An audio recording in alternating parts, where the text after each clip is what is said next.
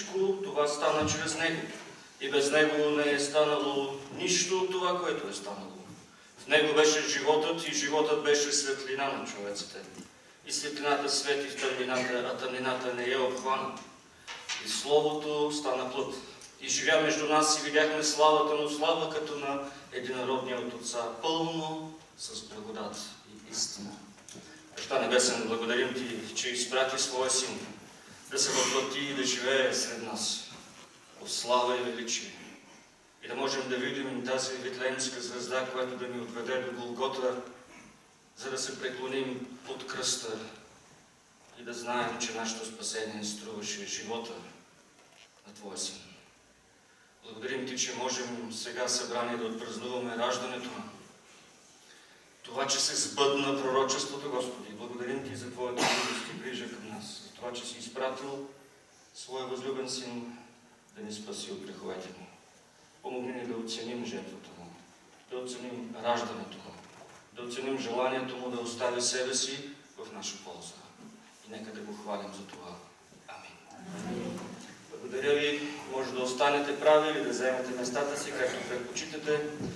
Ще изпеем спор от няколко песни. Thank you.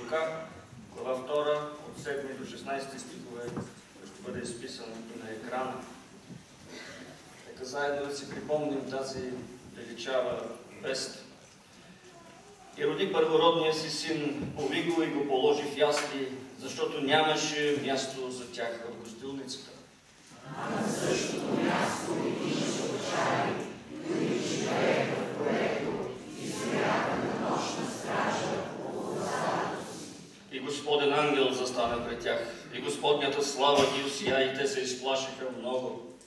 Но ангелът им каза, не бойте се, защото ето.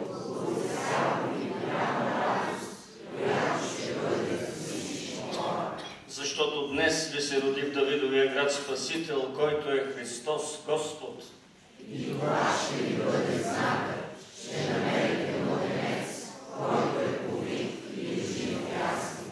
И внезапно заедно с ангела се появи едно многобройно небесно воинство, което хвалеше Бога, като казваше Слава на Бога в висините и на земята мир.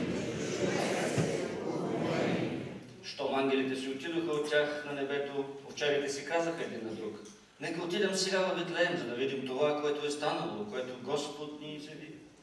И бързо и намериха Мария и Йосиф и младенеца, който лежеше в яслите. Да, тези овчари видяха, че това слово се изпълни. Следващата песен говори точно за тях. 125-та Ей, овчари Витлеемски. Спасяхте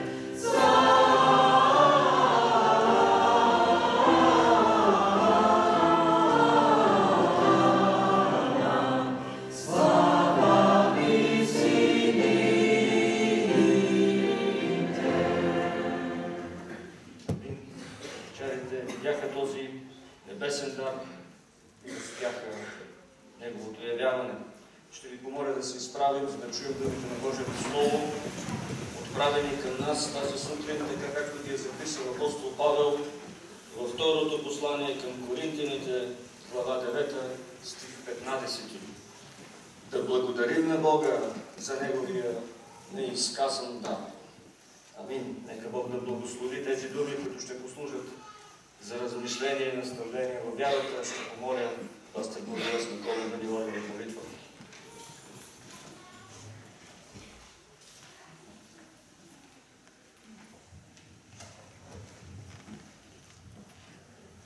Господи, благодарим Ти за прекрасната възможност, за ценната привилегия отново да се преклоним пред яслата, но и пред кръста.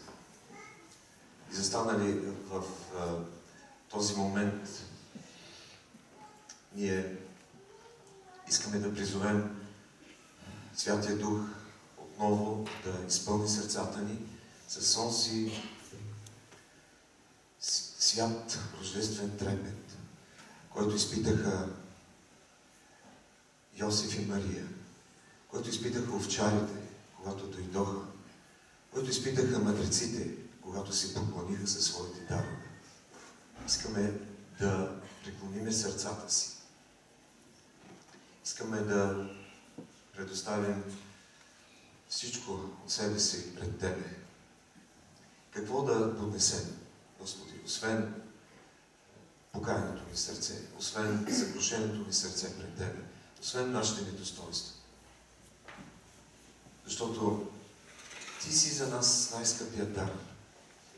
Ти дойде като най-ценният подарък за всеки един от нас. И нашите хваления не могат да бъдат достатъчни никога. Изразните средства, които имаме в реч и в музика,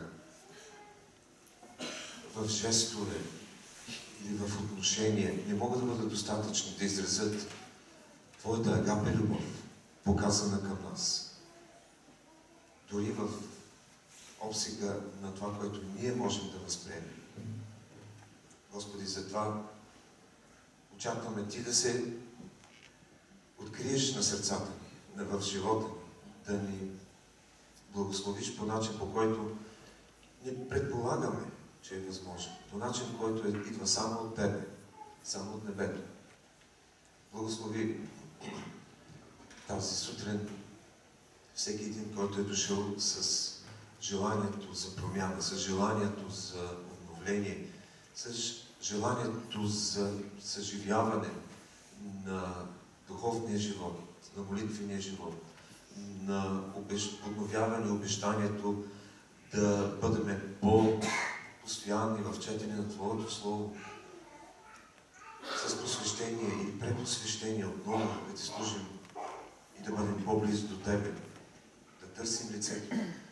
Благослови, молим Те, болните между нас. Благослови тези, които не можаха да дойдат. Специално за пастир Данил Игнатов, молим Те да го възстановиш напълно, да го благословиш така, че да бъде скоро между нас.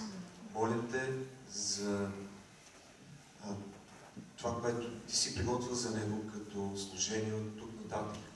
Молим се за повече сила, здраве, благодат Него и думът. Помолим се за Давид отново да тича между нас. А, и всеки копнеш и всяко намерение, което той е изразил, да стане факт в неговия живот. В променения му живот. Молим се за Роси Петкова, за пълно изцеление. Молим се за брат Енчо, за него, за здравословното състояние, за възстановяването му, за семейството му. Молим се за семейството на Краси Светла, за радост и Теодор, за децата, които си дал. Благослови ги, Господи. Ние не можем да направим много, но можем да очакваме помощ от Тебе. Молим се за всички, които са бежанци, които прекусяват граници, подведени, или наистина в нужда. Молим те да ограничиш влиянието на тези, които пътуват с цел тероризъм. Молим те за една Европа, която, в която и ние да сме част, но Европа, която се връща към истинските християнски ценности. Молим се за нашата страна да преживее този мир, който идва от Тебе. Молим се за обстановката в страната. Молим се за всички, на които сме говорили Твоето Слово. Господи, искаме Ти да се родиш в техните сърца. Благослови и ни дай Твоята радост, когато преживяваме събитията, когато отново си спомняме цената, която Ти. Да бъде благословено Твоето име. И сега издигаме глас в една обща молитва, която казваме заедно. Отче наш, който си на небесата, да се святи името Твое, да дойде царството Твое,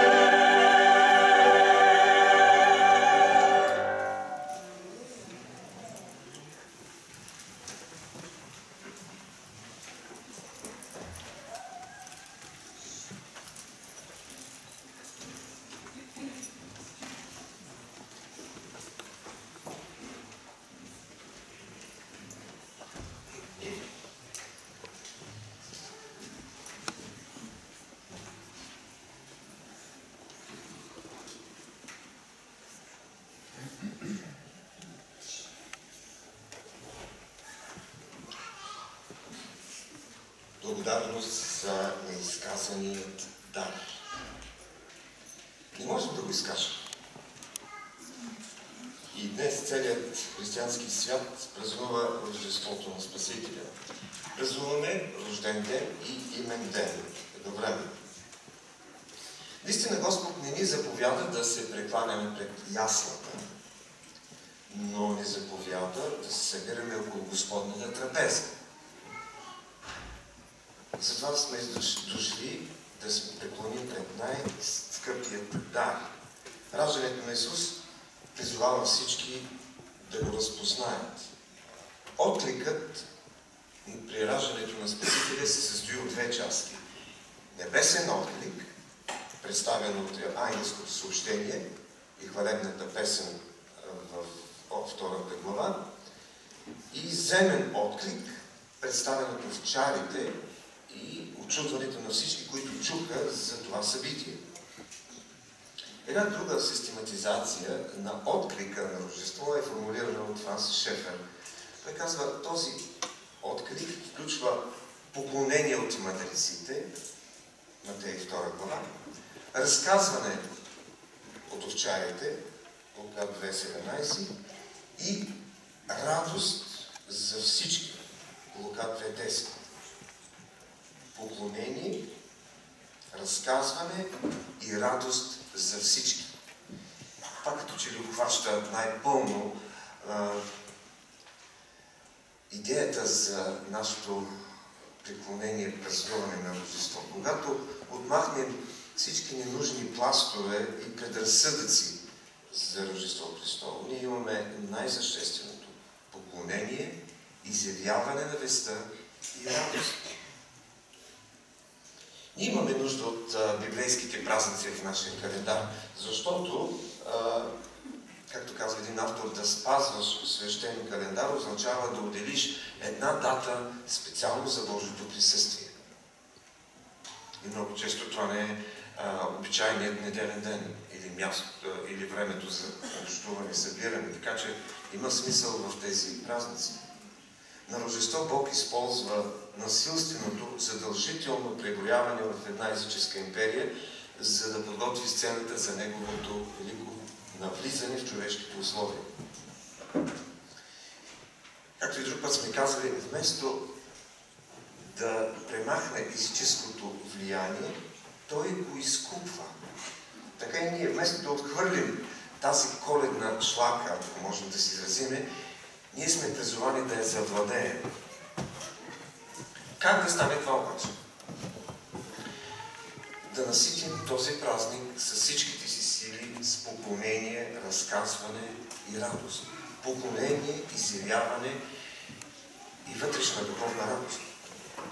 Едно изследване в Америка разкрива, че половината от анкетираните смятат, че Рождество Христово е главно културен празник, повече културен празник, отколкото религиозен празник. Въпреки, че заявяват, че вярват в това, което Библията казва, разкрива за Рождествения разказ. Аз мисля, че у нас процентът на тези, които смятат, че Рождество, както те наричат Коледа, е културно събитие, е много по-голямо. И изглежда, колкото по-млади са анкетираните, толкова по-малко от тях виждат Рождество като духовен, религиозен празник. Хората наистина обичат този празник. Някои са склонни да посетят и църквата, но преди всичко за тях е празник на размяната на подаръци. С.С. Льюис в книгата си Лъвът, вещицата и дрежника ни води в света на Нарния. Когато Нарния живее под властта на вещицата, той казва, винаги е зима, но никога Рождество. Можем да си представим колко висърчително е това за едно дете. И все още има хора, които днес живеят в зима и Рождество, истинското Рождество никога не достига до тях. Каква промяна би било, ако те могат да, да видят Исус дошъл между нас, Исус с нас, Исус в нас? Как тогава да празнуваме Рождество по библейския начин? Бог ни казва, че с Рождество днес, първо, че Исус Христос е личен Бог. Исус Христос е личен Бог. Когато Бог избра да вземе тялото на малко бебе, да се роди в земята, Бог избра да се роди не извън града, въпреки че нямаше място в обичайното място за настаняване на гости. Те можеха да разпънат някъде палатка или някаква шата. Той избра да се роди в средата между хората. Макар и между бедните, все пак между хората. Роди се в семейство, най-вероятно някакви близки сродници в Витлеем. Исус Христос избра да се роди между хората. Исус желая да бъде в центъра на нашия живот, защото Той е личен Бог. Той желая да има близко, интимно общение с нас и желая нашите сърца да бъдат Негов дом. И Той посвети живота си да направи сърцата ни свой дом. Да дойде на света, да умре на кръста, да понесе нашите грехове на кръста, да бъдем опростени, вината ни да бъде отнета, сърцата ни да бъдат очистени и Той да заживее в нас. Така че Исус е личен Бог и призовава да бъде прият като Спасител. Какво трябва да направим? Да го поканим в сърцето и живота си. Нашето сърце да бъде Негов дом. А как го приемаме? А как приемаме Исус Христос? Приемаме го като признаем нашите морални падения, които ни отделят от Бога. И те ни подсказват, че имаме нужда от външна намеса, от Спасител. Той ни призовава да кажем, Господи Исусе, има място за Теб в моето сърце. Ела и влезни там. Тогава започваме да уповаваме на Исус. Да уповаваме на цената, която Той плати на кръста. И познаваме, почваме да го познаваме като личен Бог. Това е значението на истинското рождество. Исус дойде между нас и изяви себе си като личен Бог. Но Рождество ни казва и нещо друго. То ни казва, че Исус Христос е не само личен Бог, но и Бог, който снабдява нашите нужди. Бог не изостави и Мария навън. Той им даде подслон, къща, място за настаняване. И както Писанието казва, в апостол Павел казва в Филипяни 4 глава 19 стих, Моят Бог ще снабди всяка ваша нужда според своето богатство в слава в Христос Исус.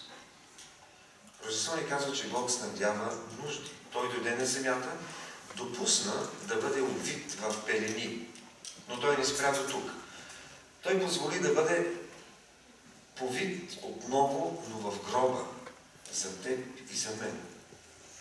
И пак не спря до тук. Чрез своето възкресение и възнесение в небето, той сега е обвит не в пелени, той е обвит в слава или обвит е в сила. Така че може да посрещне нуждите на всеки един от нас, на всеки човек. Може да разреши най-тежките проблеми на всеки един от нас. Господ Исус Христос е снабдяващ Бог. Желая да му се доверим напълно. Дори когато не виждаме как това се случва в момента. Може би някой от нас, някой от вас е дошъл в събранието с определен проблем в живота, който толкова му тежи.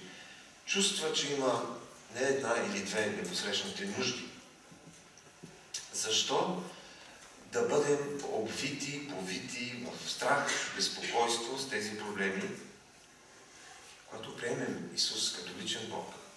Можем да му се доверим, че Той е и снабдяващ Бог. Но Рождество ни казва и още нещо. Исус Христос прави невъзможните неща за човека.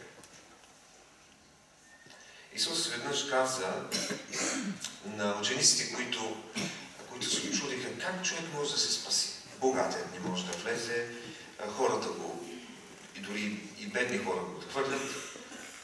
Кой може да се спаси? И той отговори простичко. Невъзможното за човеците е възможно за Бога. Всичко е възможно с Исус Христос, нашия Господ. В Рождественото поклонение всеки един от нас има възможност да постави на подобаващо централно място този съвършен дар, както се изразява апостол Павел във 2 Коринтияни 9, 9 глава 15 стих.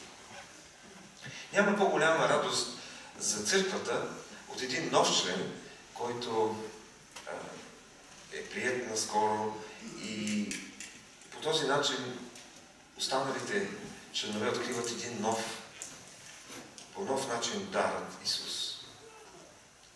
Няма по-голяма, по-голяма радост и за старите членове да открият, да преживеят отново дарът Исус. И Бог Отец никога не спира да ни разкрива повече от себе си. Всеки ден.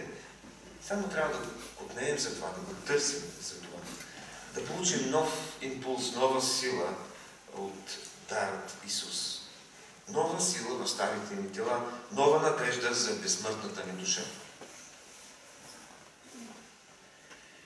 Какво правят по-голем, по-малките деца и дори някои по-големи, когато искат да получат подарък за Рождество? Почват да оговарят родителите си още от лятото. Набелязват си някои неща и говорят, искам така, така, така, това. Като мине един месец, желанията им се променят. Абе, знаеш ли, мамо, искам не това, но друго нещо. Харесах си нещо друго, може би. И ние платим така, твърдително. И докато дойде Рождество Христов, нещата се променят напълно, но а, си казваме, а, без да им а, така, да ги обесърчаваме, мислим си какво ли от всичко, което са ни поискали е полезно за децата ни или не е полезно. Не какво можем да си позволим, а какво е полезно. По същия начин и Бог се отнася с нас, с нашите молитви и с нашите желания. Макар да притежава всичко в този всемир, макар той едновременно да е дар и дарител, Бог не дава всичко с мъдрост. Той знае кое е полезното, кое е важното, кое е спасителното. Неговото желание да ни дава дарове, които ни помагат, помагат да се учим и да израстваме в благодат. Кои са неговите най-големи дарове? Спасение от греха. Предпазване от злото.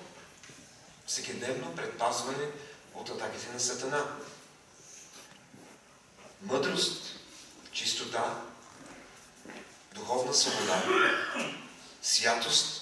Това са дарове, които той очаква да, да получим да ни даде, да чуем молби от своите синове и дъщери точно за тези дарове.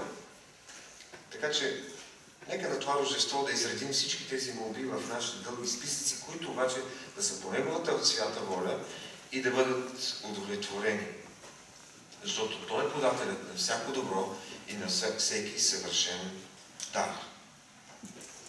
Господ Исус на Рождество бе най-скъпият дар за нас.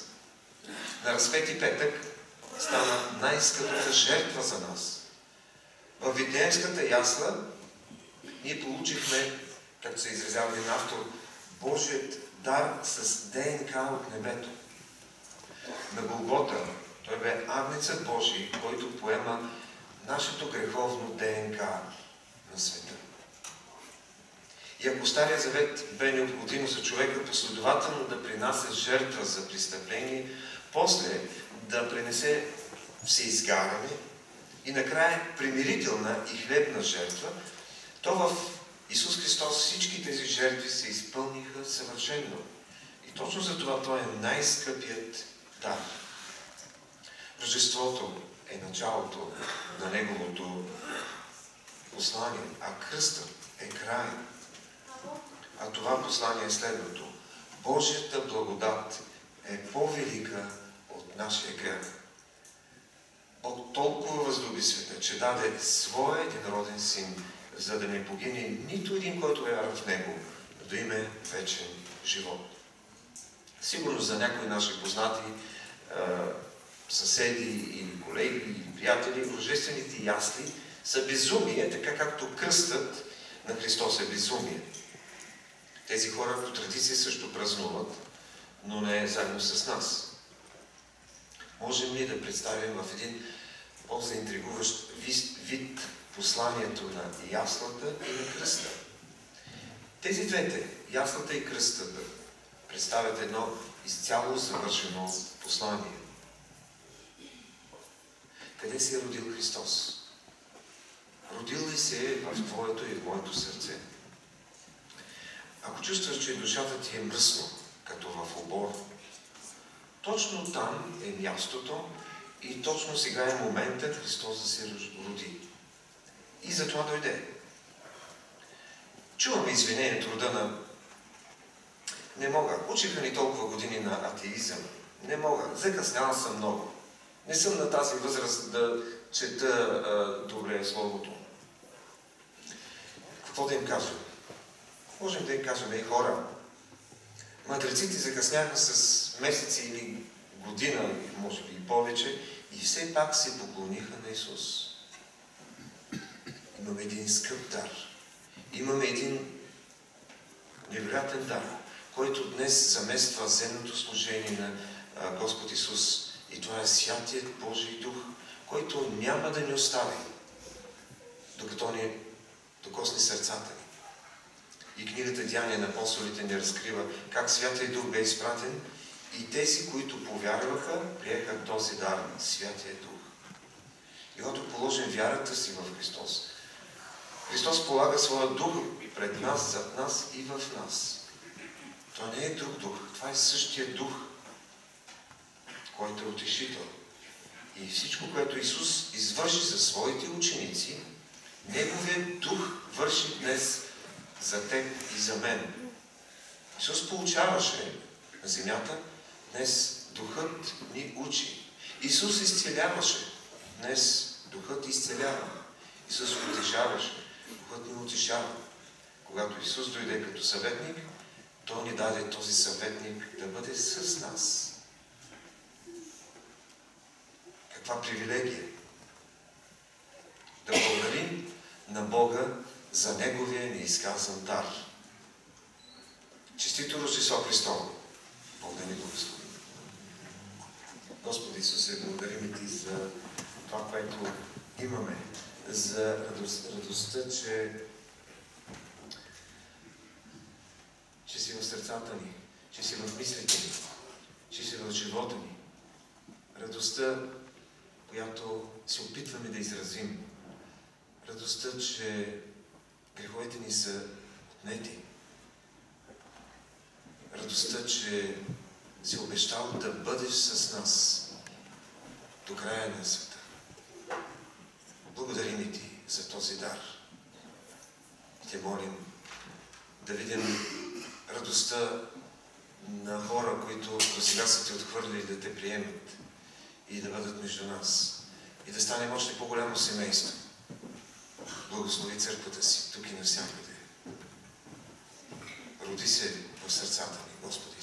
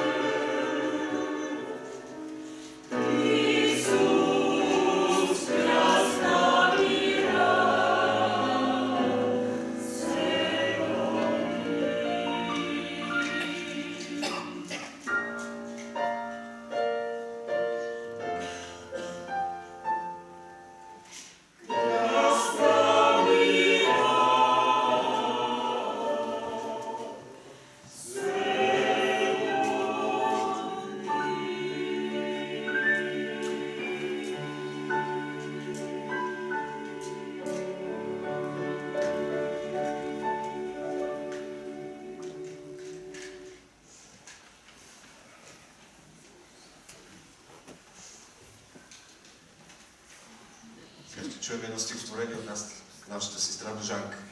Къде е Божанка? Заповядай, Божанка. А вярвам, че музиката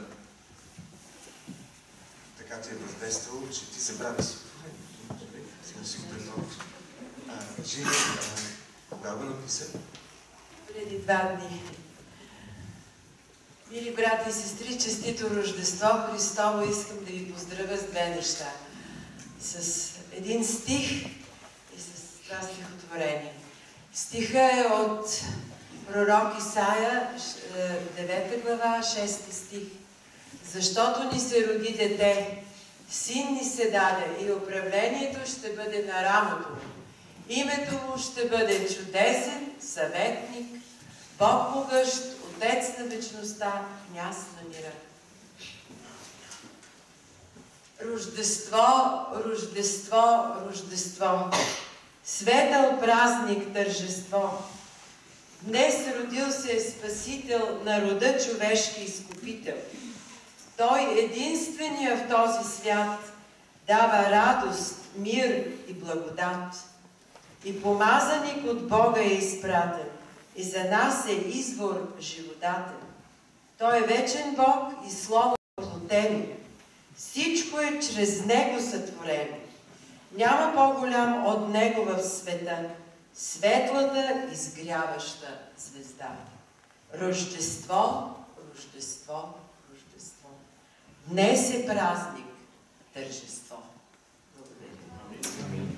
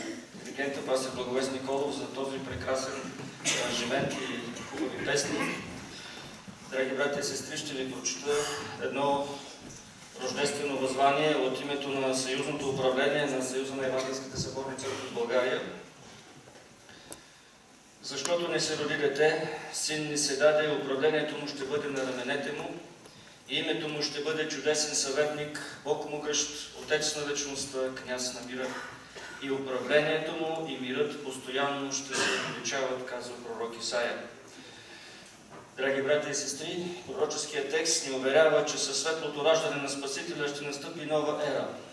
Ера на мир под Христовото управление. Ние сме щастливи участници в тази ера.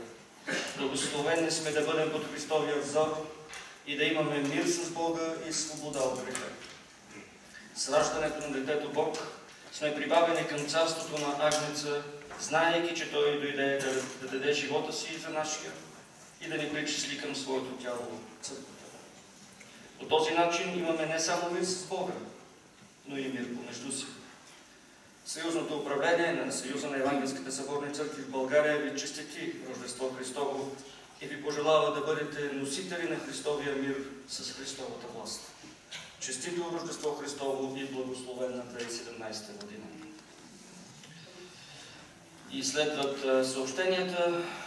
Богослуженията са обичайния си всяка неделя сутрин от 10 часа и вечерта от 18 часа.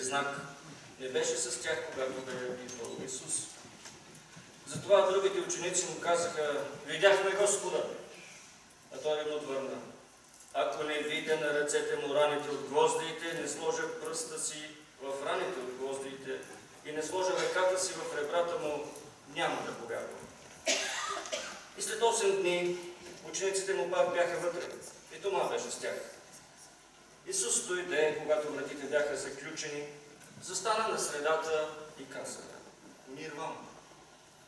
Тогава каза на Тома, дай си пръста тук и виж ръцете ми. И дай ръката си и я служи в ребрата ми. И не бъди невярващ, а вярващ. Тома му отговори, Господ мой и Бог мой. Амин. Този текст, който ние обикновено четем на Томи на неделя, говори за срещата на нашия Спасител с Тома Близнак в една заключена стая, в която той влиза без да я отключва. Вече възкръснал, той може да преминава през такива пространства, които преди не е преминавал. Вече възкръснал, той може да докосне сърцето на човек тук или там. Винаги съм се чудил обаче, защо в това прославено тяло все още има белези от рани? Защо раните все още стоят в това тяло, в което той ще се възнесе и ще, с което той ще се възнесе и ще отиде от дясно на Бог Отец? Защо тези рани не са се? Нали е съвършено? Нали е прославено? И няма друг отговор за мен, освен, че тези рани стоят там да напомнят цената, с която и Тома Близнак, и Станислав, и всеки един от нас сме купени. Цената да оставиш тялото си и живота си, да висиш на един кръст за хора, които не те обичат и които са ти врагове. Но да ги направиш твои приятели. Да ги направиш хора, които да те наричат Господ. Драги брати и сестри, Господната трапеза е също един подобен белег. Знак, който ни напомня, че тази цена продължава да е валидна. Тя не може да бъде обесценена. Господната трапеза е знак, белег на всеки един, за всеки един от нас, че ние сме купени благодарение на самоволната жертва на Господ. Когато, подобно на Тома, видим този знак, усетим този знак, повярваме в този знак, и той стане част от нас, тогава ние можем да възкликнем като Него. Господ мой и Бог. И това е целта на трапезата. Да ни накара да преклоним сърцето си и да видим белега, да видим знака, да видим раната, да видим Голгота и да знаем, че всеки ден сме призовани да се връщаме към този кръст и да живеем живот на покаяние. Живот, който да не се различава по нищо от този на Христос. Нека Бог да ни благослови тогава, когато участваме в Господната трапеза, да виждаме белезите от тялото на нашия Господ. Амин. Искам само да ви предупредя неща. Едно е, едното е, моля ви, не вземайте от хляба и от виното и сами вие да носите на ваш близък или болен. Ако имате такъв, обадете се. Предстоятелите на църквата ще направят всичко възможно да послужат така както подобава. Второ, ние услужваме Господна трапеза и позволяваме и деца да вземат участие в Господната трапеза, но това е отговорност на родителите. Много пъти, когато минавам, се е случвало да видя родителите да дават само хляба, а да не дават от виното на детето си. Ако ще вземаме Господна трапеза, нека да я вземаме както трябва. Давайте и от хляба, и от виното на децата си. Нека да бъдем благословени да участваме с вяра в Господна трапеза, нека се Господи, благодарим Ти за белега ти за Твоята жертва на Голгота. Благодарим Ти, че дойде да се родиш Витлеем, за да ни отведеш от Голгота. Благодарим Ти за Твоя блестящ пример за неоценимия дар, неизказания дар, който не можем с думи да опишем. Молим Те да ни благословиш да подготвиш сърцата ни, да участваме достойно в Господната трапеза. Моля Те да благословиш трапезата и да осветиш за всеки един от нас, защото се нуждаем в Твоето присъствие и нека това средство на Твоята благодат да ни доближи до Тебе. В името на Христос. Господ Исус, когато беше предаден, взе хляб и като благодари, разчупи и каза, това е моето тяло, което е преломено за вас. Това правете всеки път за мое разпоминание. Господи, благодарим Ти за този хляб, за хлябът на тази трапеза,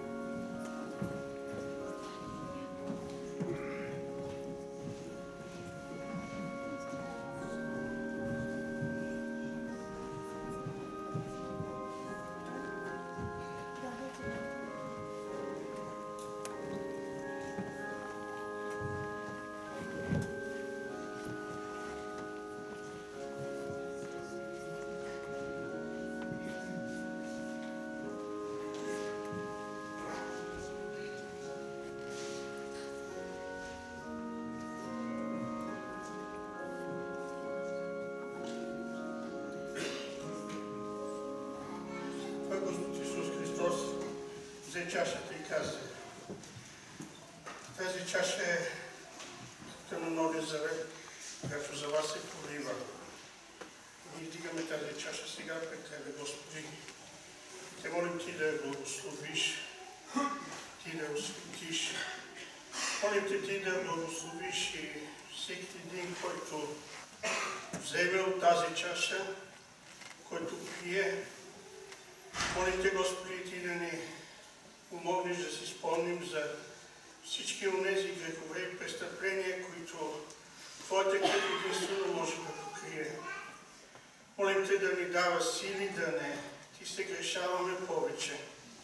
Господи, да живеем един живот, който наистина е угоден на Тебе, за слава на Тебе, за да бъдеш Ти изявен и да бъдеш Ти прославен. Молим Те за името и достоинството на този, който днес се роди и чето и чиято смърт споменаваме сега. Господ Исус Христос. Амин.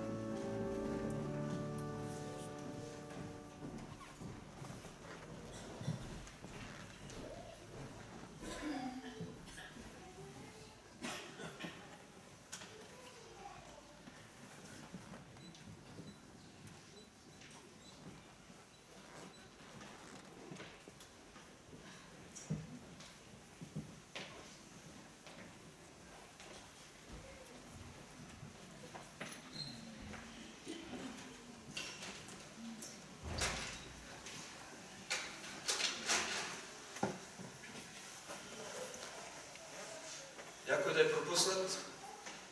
Нека да покажа. Искам да поздравя всички гости, които са от други места, от други църкви, тук дошли. Бъдете благословени. Ако искате нещо да споделите, да кажете, сега е момента.